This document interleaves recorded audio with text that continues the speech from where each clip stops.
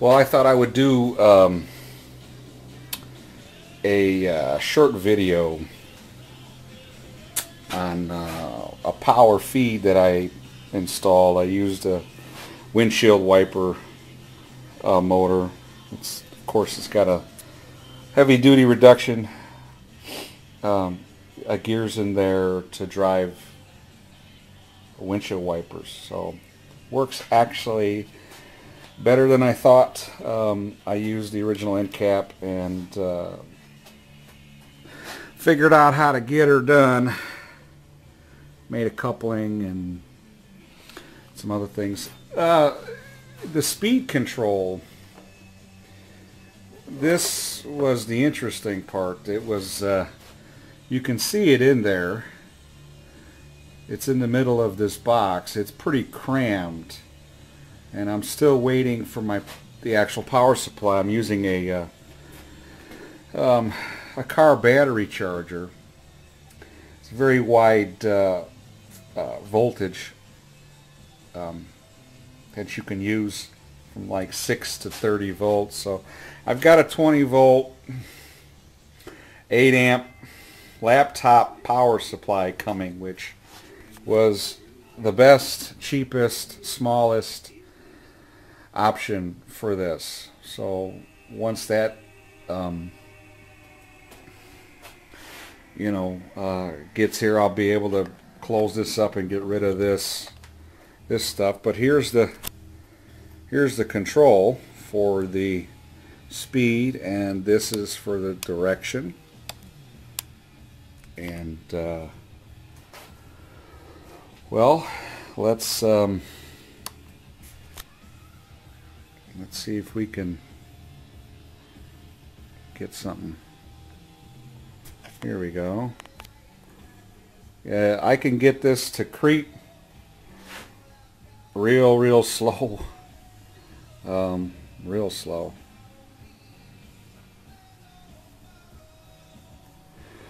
That's about as slow as it'll go before it it may you know, want to stop like right there, that's barely creeping. But when you're machining, you don't want it to stop, so you want it to go this in this direction. That's about as good as it's going to get. Um, but, and of course I can turn it all the way up. This is 12 volts feeding this it's quiet. It runs quite quiet. So if I need to advance or what have you, I can, you know, turn it up. And of course, go in the other direction. And uh, this is definitely a really nice feature to have a power feed. Um, this little mill will do a lot of work. I uh, machined the top slide for the Hendey project and it came out real nice so I just didn't take it off yet. As you can see it's it's uh, painted and we're getting some of that stuff done but it's been cold. So some of the other things didn't come out as nice as I would have liked them so I'm going to let it warm up a little bit here in um, northwest Indiana. And, uh, you know, go from there and continue with this project. I mean, I've got some of this stuff, you know, most of the stuff stripped. Um, the, you know, I got to take, I got to take the, uh, uh, I'm going to take the bed as it stands. It's on caster. It's on a. It's on dollies, so I'll be able to take a pinch um, bar and wheel it outside. Easy off, power wash, uh, paint strip, and then blow it off, and then bring it back in here and and um, you know clean it up paint it, and then put start putting the rest of it back together. Today is a nice day.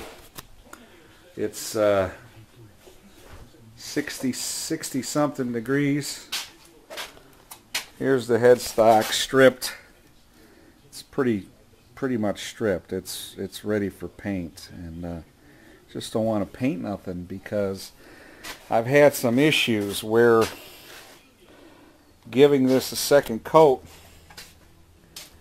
the paint wasn't totally totally dry and then it kind of lifts so I'm gonna let this stuff sit and I hope it you know dries but we're supposed to get more rain. These are the, the things that I you know had paint part of the top slide the apron and all of that so um, and here's the the uh, um, the saddle everything was stripped. This hasn't had any paint or anything like that but I got most of it really clean and um, you know paint more paint. That's what uh,